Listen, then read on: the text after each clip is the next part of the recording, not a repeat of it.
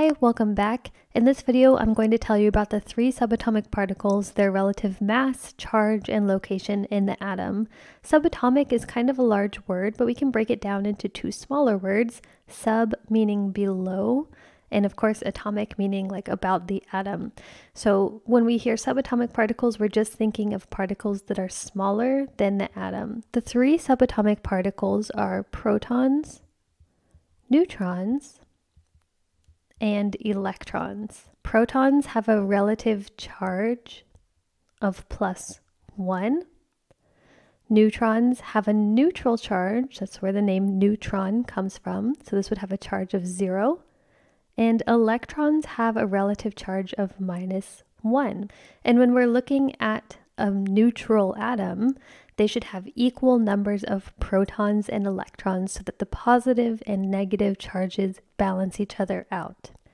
All of the subatomic particles also have a mass, and in chemistry class, we are focused on the relative mass of protons, neutrons, and electrons. So the relative mass of a proton is 1, the relative mass of a neutron is 1, and the relative mass of an electron is about 1 over 1840 compared to the mass of a proton. So the mass of an atom comes from the protons and the neutrons. We do not add the mass of an electron into the overall mass of the atom. The last thing we need to look at is the location of the subatomic particles. Protons are found in the nucleus, which is the center of the atom. Neutrons are found in the nucleus, and electrons are found outside the nucleus.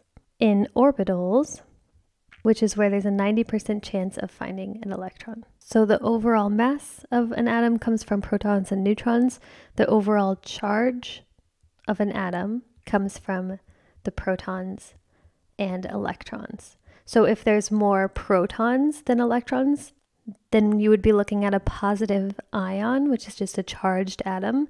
If there were more electrons than protons, you would be looking at a negative ion, which is a negatively charged atom.